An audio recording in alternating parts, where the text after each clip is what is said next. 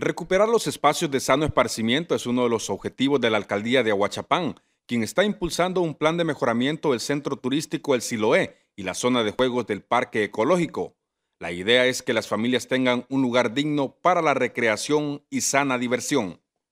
Mientras tanto, la alcaldía de Sonsonate a través del programa Espacios Verdes busca embellecer los sitios públicos dentro de la ciudad, un proyecto que comprende la intervención de zonas verdes, aceras, monumentos e iluminación en los principales accesos al municipio, obras que ya dieron inicio en la avenida Morazán y la carretera hacia Nahuizalco, ruta de las Flores.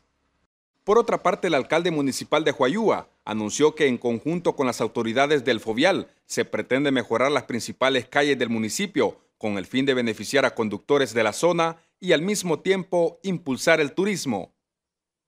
Este tipo de obras están siendo replicadas en Concepción de Ataco, en este municipio, la comuna ha dado inicio al proyecto de adoquinado, con el cual se busca mejorar algunas vías de acceso que se encuentran en mal estado. El edil aseguró que este tipo de mejoramiento se realiza con fondos municipales.